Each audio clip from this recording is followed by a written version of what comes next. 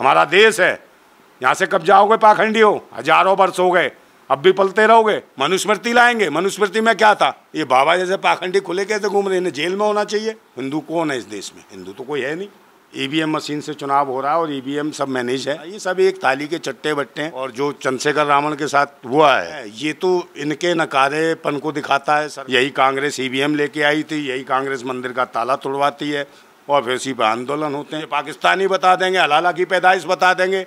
ये भूतनी के मुझे बताएँगे हलाला की पैदाइश। लोग सुन ले तो उसके कानों में शीशा डाल देते थे कि जिसमें अनाज पैदा करता, उसमें बारूद उगाना चालू कर दिया ना। और ये पाखंडी जो हिंदुत्व की बात करते हैं, क्या कर रहे थे? ताली थाली बजवा रहे थे मूर्ख।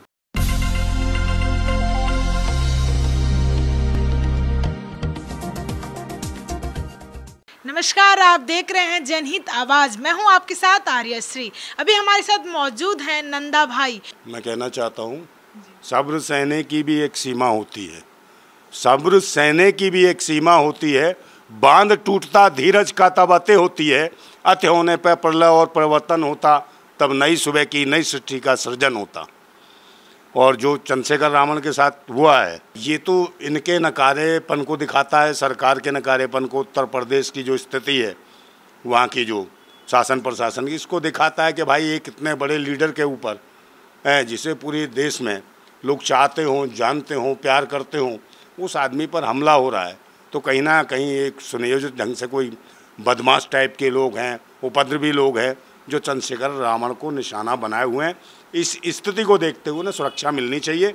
मैं भारत सरकार से ही मांग करता हूँ उत्तर प्रदेश सरकार से ही मांग करता हूँ कि उन्हें सुरक्षा प्रदान करें। उत्तर प्रदेश का जो सरकार है उनका वादा है कि यहाँ पे जो है सुर, बहुत सुरक्षित वहाँ पे सुरक्षा बहुत दिया जाता है और बात करते हैं कि यहाँ पर गुंडागिर्दी नहीं चलता है। बिल्कुल नहीं चलती है। मनीषा वाल्मीकि को तो बहुत बड़ी सुरक्षा दी थी हैं? उसके बाद जाइए वो उन्नाव में कुलदीप सिंह सेंगर तो उसके बाद चला जाइए चिमन चिमनियानंद बाबा, जिस लड़की का रेप किया उसी खानदान को अंदर डाल दिया, ये सुरक्षा दी जाती है इसे। तो उसके बाद जाइए यहाँ बुलंदशहर पिंकी लोधी के साथ बलात्कार हुआ, उसकी हत्या कर दी गई, रातों रात चिता जला दी गई। तो ये न्याय थोड़ी ही, ये सुरक्षा है क्या? जो कहते थे, बेटी बचाओ, बेटी पढ़ाओ की बात करते थे, कहाँ बच रही है बेटी? हैं? बेटी बचाओ, बेटी पढ़ाओ बेटी पढ़ाओ का? जो नारा देते थे, आज उन्होंने क्या कर रखा है इन? इन पाखंडी ढोंगियों ने नारा नारा तोड़ अभियान चला रखा है, बहन बेटियों का। ऐसे लोगों को नहीं छोड़ा जाना चाहिए। 2024 में लोकसभा चुनाव आ रहे हैं तो चुनाव को लेकर आप क्या कहेंगे? चुनाव तो ये है कि भाई देखो आप देख ही रहे हो। ईवीएम मशीन से चुनाव हो रहा है और ईवीएम सब मैनेज है। सब जानते हैं पक्ष और विपक्ष सब मिले हुए हैं। चाहे कांग्रेस हो चाहे ये हो सब एक ही सोच के लोग हैं। और कांग्रेस की देन देन है कि भाई आरएसएस कांग्रेस ने बनाई।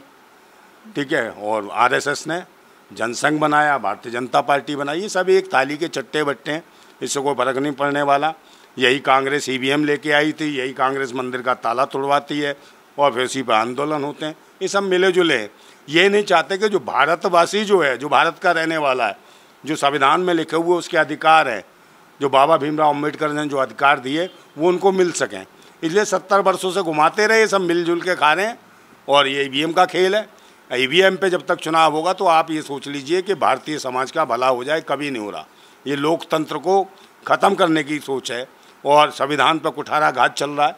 जिस तरीके से संविधान को तोड़ा, मरोड़ा जा रहा है, उसका कहीं कोई सुनवाई नहीं है। और तो और जैसे संविधान बदलने की बातें चल रही हैं, हिंदू राष्ट्र जैसे मुद्दे उठाए जा रहे हैं पाखंडियों के द्वारा, जबकि हिंदू राष्ट्र जो है, हिंदू कौन है इस देश में? हिंदू तो कोई है नहीं। आपको लगता है हिंदू कौन है? आप बताओ कौन है हिंदू इस देश में?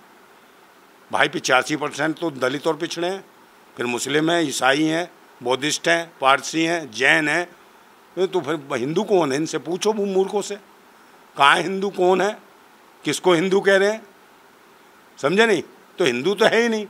जैसे पहले खालिस्तान के नाम पे, खालसा के नाम पे खालिस्तान राष्ट्र की मांग उठती थी तो लोगों ने कहा, ये तो उग्रवादी हैं आतंकवादी हैं।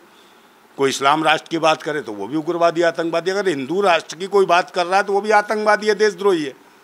ये बाबा जैसे पाखंडी खुले कैसे घूम रहे हैं? जेल में होना चाहिए। ये उग्रवादी हैं देशद्रोही हैं। जो धर्म मज़हब के नाम पर उग्रता फैलाते हैं और भाईचारे को ख़त्म कराना चाहते हैं देश के। भागेश्वर है वो भागेगा जल्दी देश छोड़ के। समझे नहीं? ढोंगी पाखंडी एक वो भी था। नहीं है सर उस पे हर लोग हर लोग उन पे जो उन पे हर लोग विश्वास कर रहे हैं और इतने दूर से लोग जा रहे हैं उतने दूर उनसे मिलने के लिए। एक नित्यानंद भी था नित्य नए दिन रोज बलात्कार करता था। वो भी कैलासा बना के विदेश में चला गया यहाँ का पैसा लेके लूट के। समझे नहीं? देश में करते हैं आइस फाइस, और समझे विदेशों में जाकर पैसे का कर देते हैं धप्पा, और वहीं बैठ जाते हैं बन के पप्पा हो ये पता है तुम्हें? वहाँ कैलासा एक राष्ट्र बना के बैठ गया हो, ये देश का लूट के पैसा ले गया है। उसको कैसे देखोगे आप? तो देश को लुटेरे हैं जितने पाखंडी हैं, ढोंगी हैं, धर्म मज़हब के नाम पर जो आतंकवाद मचा रखा है देश के अंदर। समझे नहीं? ये देश संविधान से चलता है, विज्ञान से चलता है। तारीखिक बातों का कोई महत्व तो नहीं रहा। मैं तर्कपूर्ण बात करूँगा तो गाली देने लगेंगे। मुझे पाकिस्तानी बता देंगे, हलाला की पैदाइश बता देंगे। ये भूतनी के मुझे बताएँगे हलाला की पैदाइश? ये बताएँगे हमें राष्ट्रवाद के तमके देंगे। ये पाखंडी ढोंगी हमें राष्ट्रवाद के तमके देंगे, जो खुद भारत के तिरंगे को जलाते रहे, नानाजी देशमुख जैसे। हैं, उनको भारत रत्न देते हैं। भारत रत्न ऐसों को दिया जाना चाहिए। भारत रत्न दिया जाना चाहिए काशीराम जी को। दशरथ दशरथ जी को, ऐसे लोगों को भारत रत्न मांग, मिलना चाहिए। ये थोड़ी पाखंडी और ढोंगियों को मिलना चाहिए। इस राष्ट्र के भारतीय लोग हैं जिन्होंने बहुत मेहनत की है इस राष्ट्र को बनाने के लिए। और जो इस देश में आए हैं, जो शरणार्थी थे, जो विदेश से आए यहाँ के, इस भारत के आज तक नहीं हुए हज़ारों हज़ारों वर्षों से इस भारत का आ रहे हैं, इसके भारत का खा रहे हैं, भारत की दया, दान, दक्षिणा पे पल रहे हैं आज तक। समझे नहीं, वो इस भारत के नहीं भारत के साथ गद्दारी कर रहे हैं, भारतवासियों के साथ गद्दारी कर रहे हैं। समझे नहीं, उनकी खेती, ज़मीनें छीनने का षडयंत्र कर रहे हैं, उनकी नौकरियाँ छीनने का षडयंत्र कर रहे हैं। उनके ही संविधान को, समझे, उनके ही अधिकार को ख़त्म करने का काम कर रहे हैं, षडयंत्र है। समझे नहीं, इससे देश आगे बढ़ने वाला नहीं है। जब तक भारतवासी नहीं जगेगा तो अपने अधिकार और न्याय को कहीं भी अपने बचा नहीं सकता। नहीं तो इस तरीके से करते रहेंगे, चंद्रशेखर रावण के साथ हो रहा है हमला। भाई मुझे भी रोज़ गालियाँ आती हैं रोज़ फ़ोनों पे आते हैं मुझे भी धमकियाँ देते हैं लोग। तो सच बोलने में क्या बोल रहे हैं? अच्छा, क्या कारण रहा जो उन पर हमला हुआ है?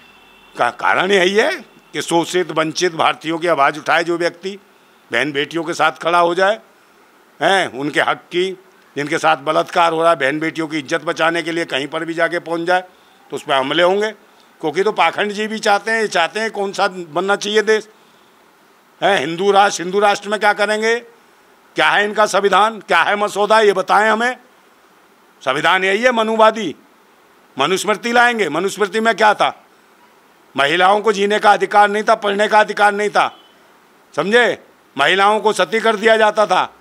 और महिलाएँ गर्भवती भी हों तो पिछवाड़े पर लात मार के जंगल में छोड़ दी जाती थी। क्या ये मिलेगा? अधिकार। समझे नहीं? बहन बेटियों को जीने का अधिकार नहीं था। श्लोक सुन ले तो उसके कानों में शीशा डाल देते थे।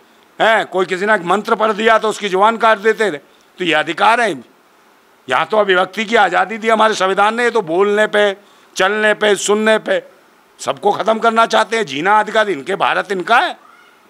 इन्हें शरण दिया हमने, और वो वक्त आने वाला है, इन विदेशियों को भारत छोड़ के भागना पड़ेगा। समझे नहीं? ये धर्म भारतीयों का नहीं है। भारतीयों की सब कुछ है। जो भी देश के अंदर जो है ये विदेशी लोग आके यहाँ पाखंड मचा मचा के लोगों को मूर्ख बना रहे हैं। समझे नहीं? इन्होंने अफीम चटा रखी है धर्म और पाखंड के नाम पे। इससे जिस दिन जागरूक हो जाएगा ना भारतीय समाज ये भारत छोड़ के भागेंगे पाखंडी ढोंगी। समझे नहीं? और एक दिन आएगा ऐसा। उनसे मिलने के लिए लोग लंबे लंबे लाइन में लगे हैं। बहुत दूर दूर से लोग उनसे मिलने जाते हैं और कहते हैं कि वो पर्ची निकालते हैं। देखिए शासन सत्ता पे सब कुछ इनके अधिकार हैं। धर्म के नाम पर ही तो आ गए आप मुझे बता दो अब मैं कुछ कहूँगा, आपके चैनल पर तो लोग कहेंगे यार ये क्या आपत्तिजनक टिप्पणी कर दी? है? अभी स्थिति या मानसिकता ऐसी बना दी है लोगों ने पाखंड में। भाई बच्चे हो रहे, किसी को कोई माँ है या किसी की सास ही है अब उसकी बहू जो प्रेग्नेंट हो जाती है तो पता क्या कहेगी? वो सीधी कहेगी, अरे, भगवान ने बड़ी कृपा कर दी। भगवान ने कृपा कर दी। कृपा किसने करी, ये नहीं पता उसको। है? एक बात बताओ, कृपा किसने करी? बहू और बेटे ने इतनी मेहनत करी, कुछ भी करा, है, उसके खानदान परिवार को चलाने का काम किया। और कृपा कौन कर दी? भगवान सिंह कर गया कृपा। आप मुझे बताओ तो इस पाखंड से क्या होगा? अगर ऐसी कृपा होनी थी तो भाई शादी ब्याह क्यों करें उनके? कृपा ही करते रहते। समझे? कोई कान से पैदा होता, कोई नाक से पैदा होता, कोई हथेली पैदा होता, कोई चाँद पे पैदा हो जाता, है? ऐसी कृपा करते रहते। तो इनकी कृपा इनके घर में ही सही है, ये अपने घर में रखे ऐसी कृपा। भारतवासी सब जानते हैं, मेहनत का श्लोक है, मेहनत करते हैं खेती बाड़ी करते हैं, है, किसान है। जिस ज़मीन का सीना फाड़ के ना, जो भारतीय समाज अनाज पैदा करता है और कहीं क्रांति पे हो गया, उसी जगह, हल्की जगह किस दिन ऐसा चला दिया कि जिसमें अनाज पैदा करता, उसमें बारूद उगाना चालू कर दिया ना तो पाखंडी भागते फिरेंगे देश को छोड़ के। समझे नहीं? इसके अगवाड़े पिछवाड़े सब उड़ा देंगे यहाँ से, भारतीय समाज। ये ना सोचो। हम लोग क्रांतिकारी हैं। हमें कोई सत्ता और शासन का लोभ नहीं, परिवर्तन के लिए लड़ रहे हैं हम। हमारे अधिकार है। हमारा देश है। यहाँ से कब जाओगे पाखंडी हो? हज़ारों वर्ष हो गए। अब भी पलते रहोगे। समझे नहीं? मनुवादी नहीं है। अब ये मनीवादी हो गए और जितने भी जो सत्ता में बैठे हैं, जो कहते हैं, आप इस इस समाज के लोग हैं, मैंने कहा नहीं कि कौन है ये लोग? ये कमीशन खोर हैं। हम मिशन पे काम करने वाले हैं ये कमीशन खोर जो हैं जो विभिन्न समाज के जो चेहरे दिखा रखे हैं इन्होंने इस समाज को बिकवा रखा है इस भारत को बिकवा रखा है। इनसे बचने की ज़रूरत है। समझे? मिशन वालों के साथ चलो कमीशन वालों के साथ मत चलो। इनका ध्यान रखिए आप। टमाटर का रेट बहुत बढ़ गया इसको लेके आप क्या कहेंगे? भाई टमाटर का रेट बढ़ गया सरकार के हाथ में। जब टमाटर जब बहुत तादाद में हो रहा था किसानों के लिए तो सरकार कह रहे हैं कि ये आप किसानों को लाभ होगा ना इससे। अरे भीन जी कहाँ से होगा? वो जमाखोर कौन है? लाला कौन है वो, जिनके यहाँ, जो किसानों खेती में होता है, जब तो वही टमाटर दो रुपये किलो है। समझे ना, उसके पास इतनी भी स्थिति नहीं होती कि ट्रैक्टर में भर के जाके कोल्ड स्टोर या मार्केट में जाके मंडी में बेका है वो। इतना सस्ता कर देते हैं। समझे? फिर वो वहाँ से वैसे ही उठ जाता है। और वो जमा खोरों ने जो गोदाम बना रखे हैं वहाँ रखे हैं। समझे? किसान वहाँ तीन महीने लगाता है उस फ़सल को उगाने में, दो महीना लगाता है, जब टमाटर तैयार होता है उसका। ठीक है? और ये छः सात दिन एक हफ़्ते में इनके गोदाम में पड़ता ही, वो दस गुना रेट बढ़ा लेते हैं। तो कौन है ये? ये जो है मनुवादी कम मनीवादी व्यवस्था पे कायम हो गए हैं। जो मनुवाद की जो कई बात है ना, मनुवाद खत्म हो गया, अब ये मनीवादी लोग हैं। जहाँ मनी दिखाई देती है, उस पर ये सांप की तरह बैठ जाते हैं। तो इन सप, ये जहरीले जो सपोले हैं ना, इनके लिए कह देना भारतीय जो है ना नेबले भी तैयार हो गए इनके टुकड़े कर देंगे जल्दी। 2024 के लोकसभा चुनाव को लेकर आप क्या कहेंगे? लोकसभा चुनाव को मैं तो इतना ही कह सकता हूँ कि भाई मेरे को तो विश्वास है नहीं, जब तक ईवीएम e मशीन से चुनाव हो रहा है। समझे? मुझे लगता है भारतवासियों को भी नहीं है। और ये जो मर्ज़ी कह देते हैं मुँह से, जो जो दिल में आता है कि हमारी इतनी सीट आ रही हैं, अमित शाह बोल देगा इतनी सीट आ रही हैं, कांग्रेस बोल देगी इतनी सीट आ भाई ये क्यों, कैसे बोल दे रहे हैं ऐसी सीट आ रही है इनकी? तो इसका मतलब ई e में घपला चल ही रहा है। ई e मशीन पर जब तक चुनाव होगा तो ये समझ लिए लोकतांत्रिक चुनाव नहीं हो रहा। ये जनता के साथ खिलवाड़ हो रहा है। बैलेट मशीन, बैलेट पेपर पर जिस दिन चुनाव होगा, उस दिन समझिए कि लोकतंत्र बच सकता है, संविधान बच सकता है, ये देश बच सकता है।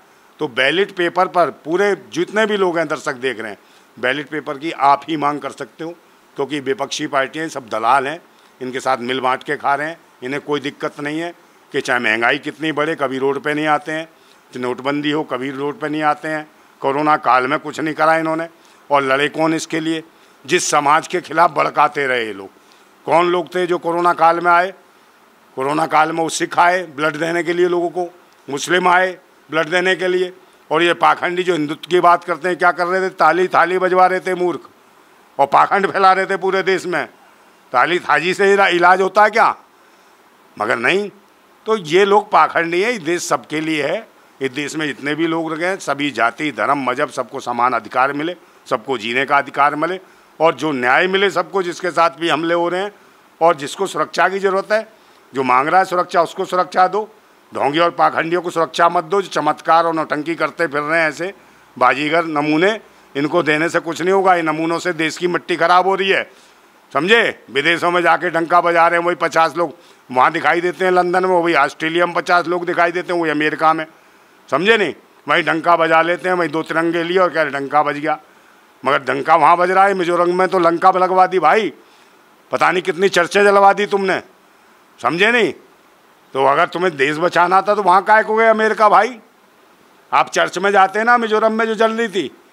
क्योंकि देश देश भी तुम्हारा है, मिजोरम भी तुम्हारा है, और वो जो चर्च जल रही थी, वो भी तुम्हारी, उसमें खड़े होते तो तुम ही खड़े होते। और जलते, आग लगते तो किसकी जलती? तुम्हारी जलती, देश की जलती ना? है? तो इस पर देश चलता है। समझे नहीं? ऐसे नहीं चलता पाखंडबाज से। नंदा भाई थे बहुत आक्रोशित नज़र आ रहे हैं। हर चीज़ को लेकर आक्रोश में जैसे कि इनका कहना है कि चंद्रशेखर आज़ाद जी जो हैं, उनको एक उनको सुरक्षा बल मिलना चाहिए। बने रहिए हमारे साथ।